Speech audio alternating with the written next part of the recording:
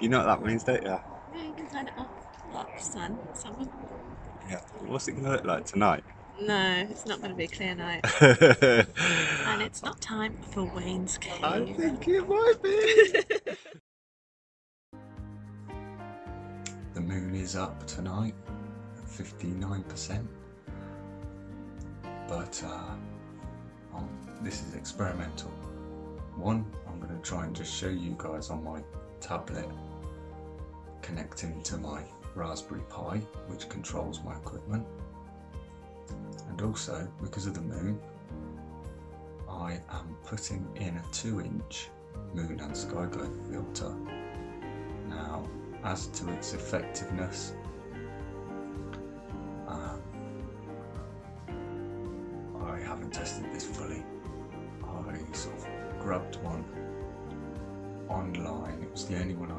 the time without any proper research into it. I needed it quick because I was visiting a relative and I knew there was some moon out and I, it was just on the arsenal ticked the box I needed to get one. Anyhow, without further ado, just to explain, I've got that in my adapter as well as my normal light pollution filter, uh, Optolong L Pro clipping filter in my actual Canon T3i. Um, so I'm going to take some shots uh, on a new target tonight that I haven't done before. I've had a quick look on Stellarium. It's just coming into view around about the right time, so um, we're going to go over there. But first, I thought I'd experiment tonight try and do on my software on K-Stars and Ekos that comes with already loaded into the Stellarmate Wi-Fi Raspberry Pi computer that's outside on my rig. Um, I'm going to try and use the polar alignment alignment module which takes test shots and then helps me adjust the smaller increments to get the best polar alignment I can get. Viewer, this is on just an open browser window and the address is basically a local address for the Stellarmate on, on the Wi-Fi, on my home Wi-Fi. If I was out in the field, the Stellarmate would then see that there's no Wi-Fi signal that it's registered with and kick out its own Wi-Fi signal, of which then you can ask any device to join it. You know, search for what Wi-Fi, it'll see Stellarmate and then join it that way. So I connect, press this connect button. Ask me for this password. Send password. And here we go. So here, this is, that's the Stellarmate sign, look. All you have to do, because it's a tablet, there's these little, on the sidebar, you just have to tell it, because you haven't got a physical mouse and keyboard. So now I'll, pre I'll press the hand, hand drag, look, and I can just move it around. And here, this is the desktop of my Stellarmate outside. So I normally come into this, um, double click on K stars, and just you see there, we're loading.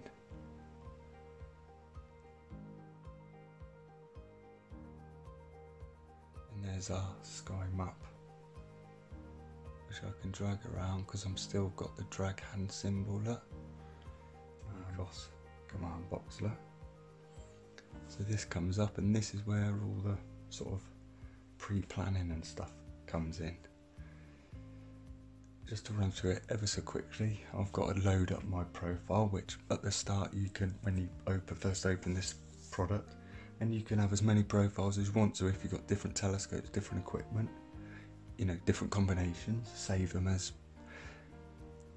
my Astro Gear Celestron SCT or my Astro Gear um, ED80, whatever your scope is, and all the rest of it, just to remind you what setup is.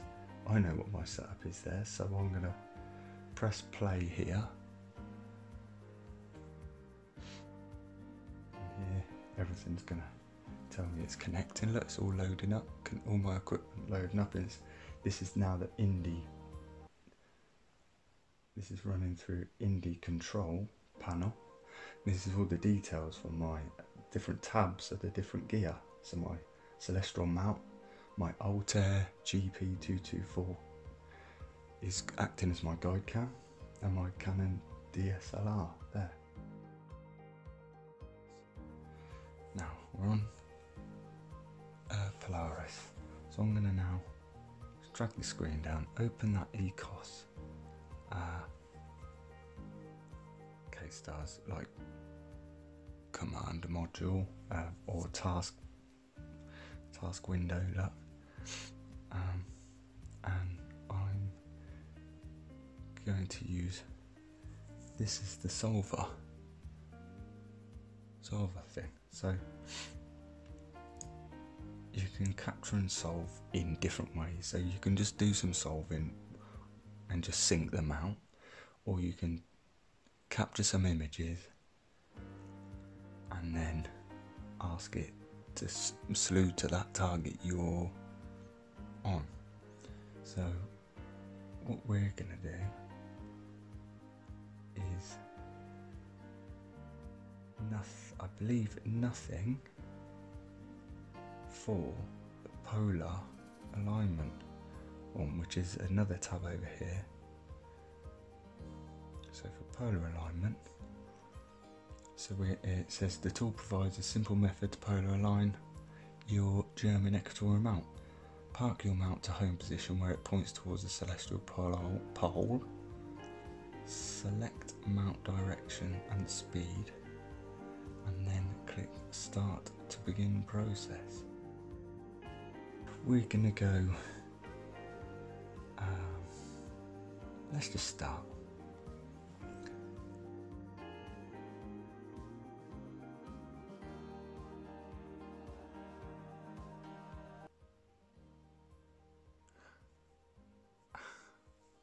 I've done, ladies and gentlemen. I know these pictures aren't very clear.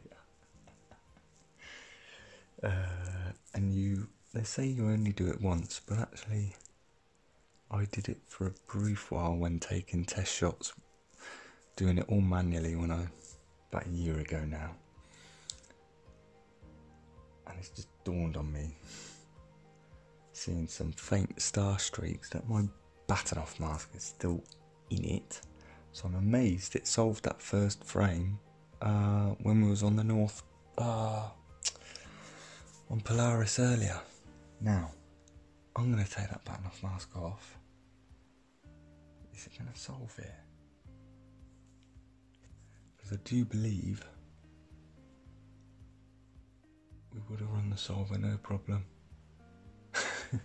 yeah it, it wouldn't have had a uh, problem if it could see the stars. It always helps, doesn't it? See you in a minute. That's looking more of a solid picture of stars now.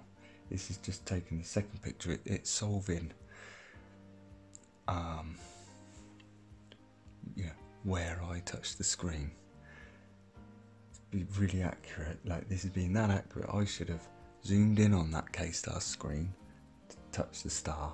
My big fat finger on it zoomed out. It, it's it's just come up, you know.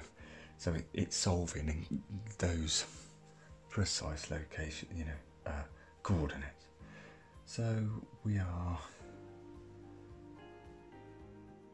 It took that picture. Doesn't need to be eight seconds long. Hello again, guys. I'll uh, definitely be trimming this video down, um, but uh, I've slewed over to Polaris on K Stars. Um, so now the Bahtinov mask isn't on, and I now know K-Stars slews the telescope for me. I'm just going to give this polar alignment module another go here and press start. It's capturing an image.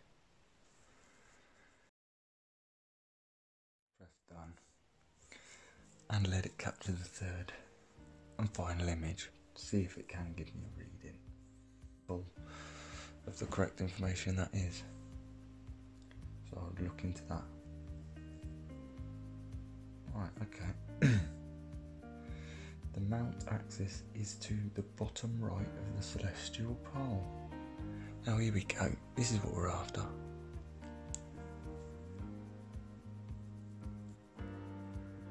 So I'm going to put this big screen now, right?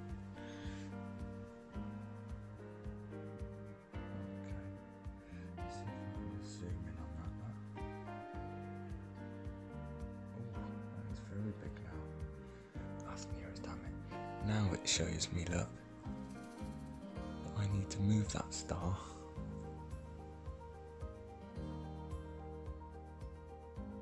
I need to move that star into into that cross. So I'm going to take this screen out with me, move my alt as bolts, and then get back to you, mate. All